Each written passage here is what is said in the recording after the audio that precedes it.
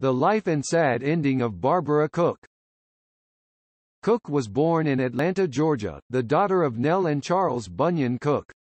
Her father was a traveling hat salesman and her mother was an operator for Southern Bell.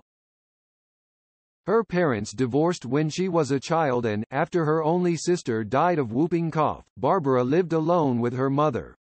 She later described their relationship as so close, too close. I slept with my mother until I came to New York. Slept in the same bed with her.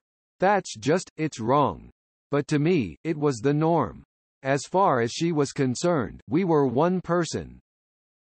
Though Barbara began singing at an early age, at the Elks Club, and to her father over the phone, she spent three years after graduating from high school working as a typist.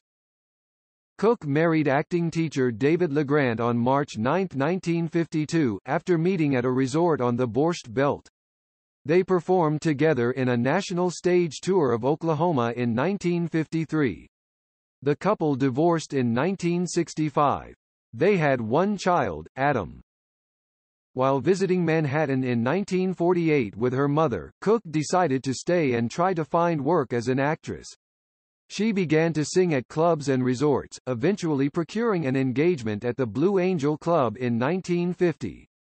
She made her Broadway debut a year later, as Sandy in the short-lived 1951 musical Flahooley.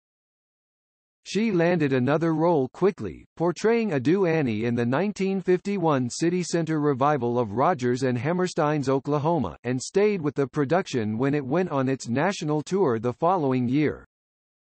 Also in 1952, Cook made her first television appearance on the show Armstrong Circle Theater which presented her in an original play entitled Mr. Bemis Takes a Trip. In 1954, Cook appeared in the short-lived soap opera Golden Windows and starred as Jane Piper in a television version of Victor Herbert's operetta Babes in Toyland.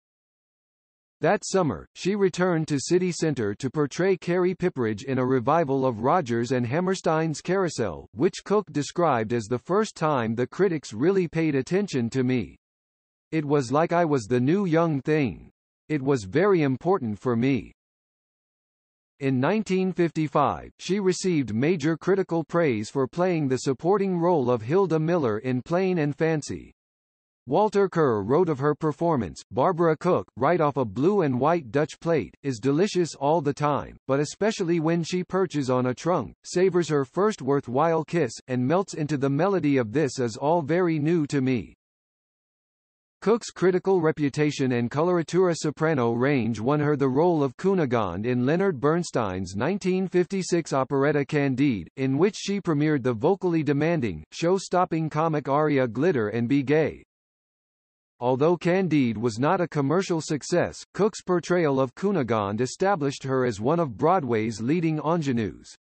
In 1957 she appeared in a second City Center revival of Carousel, this time in the role of Julie Jordan, and won a Tony Award for creating the role of Marion the librarian in Meredith Willson's 1957 hit The Music Man. Cook continued to appear regularly on television in the late 1950s, starring in a 1956 Producers Showcase production of Bloomer Girl, a 1957 live broadcast of The Yeoman of the Guard, and a 1958 musical adaptation of Hansel and Gretel. She also made appearances on Alfred Hitchcock Presents, The Ed Sullivan Show, The Dinah Shore Chevy Show, and The Play of the Week. Cook starred in an acclaimed 1960 City Center revival of Rodgers and Hammerstein's The King and I and in the short-lived 1961 musical The Gay Life. In 1963, she created the role of Amalia Balash in the classic Jerry Bock-Sheldon Harnick musical She Loves Me. Her performance prompted Norman Nadel of the World Telegram and Sun to write, her clear soprano is not only one of the finest vocal instruments in the contemporary musical theater, but it conveys all the vitality, brightness and strength of her feminine young personality, which is plenty. One of the songs from She Loves Me, Vanilla Ice Cream, became one of Cook's signature songs. In the mid-1960s, Cook began working less frequently, She appeared in the 1964 flop Something More, which ran for only 15 performances on Broadway, and tried her hand at non-musical roles, replacing Sandy Dennis in the play Any Wednesday in 1965 and originating the role of Patsy Newquist in Jules Feiffer's 1967 play Little Murders. She starred in national tours of The Unsinkable Molly Brown in 1964 and Funny Girl in 1967. Her last original book musical role on Broadway came in 1971 when she played Dolly Talbot in The Grass Harp. In 1972, Cook returned to the dramatic stage in the Repertory Theatre of Lincoln Center's production of Maxim Gorky's Enemies. As she began struggling with depression, obesity, and alcoholism in the 70s she eventually quit drinking in 1977. Cook had trouble getting stage work. In the mid-1970s Cook's fortunes changed for the better when she met and befriended composer and pianist Wally Harper. Harper convinced her to put together a concert and on January 26, 1975, accompanied by Harper, she made her debut in a legendary solo concert at Carnegie Hall that resulted in a highly successful live album. Continuing a collaboration with Harper that lasted until his death in 2004, Cook became a successful concert performer. From the mid-1970s on, Cook returned only sporadically to acting, mostly in occasional studio cast and live concert versions of stage musicals.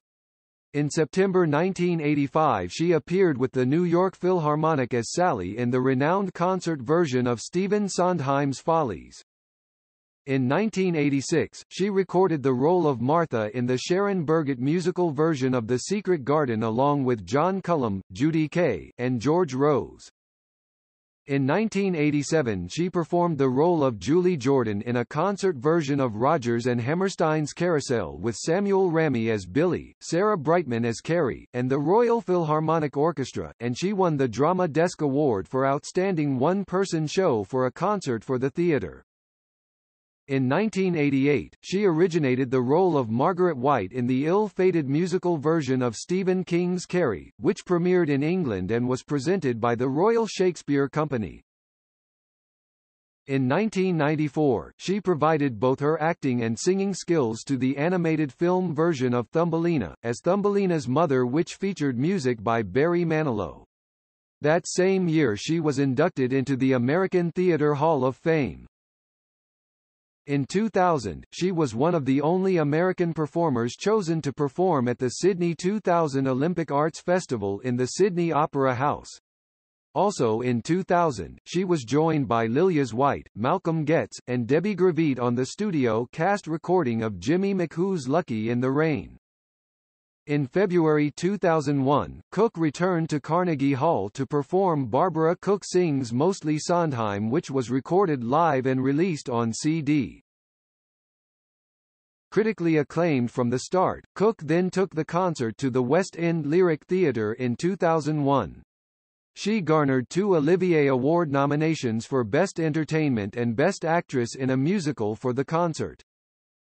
She went on to perform Sings Mostly Sondheim at Lincoln Center for a sold-out 14-week run from December 2001 to January 2002, and again in June 2002 to August 2002. She was nominated for a Tony Award for Best Theatrical Event. She took the show on a national tour throughout major cities in the United States. DRG filmed the stage production during a performance at the PepsiCo Theater, SUNY Purchase, New York, on October 11, 2002 44, and it was released on DVD on the DRG, Koch Entertainment label. In June and August 2002 Cook performed Sings Mostly Sondheim at the Terrace Theater, Kennedy Center as part of the Sondheim celebration. In 2004 she performed two limited engagement concert series at the Vivian Beaumont and Mitzi Newhouse Theaters at Lincoln Center, Barbara Cook's Broadway, with Harper as her musical director, arranger. She received the New York Drama Critics Circle Award and a nomination for the Drama Desk Award, Outstanding Solo Performance. A recording of the concert was made. Cook died at the age of 89 of respiratory failure on August 8, 2017, at her Manhattan home.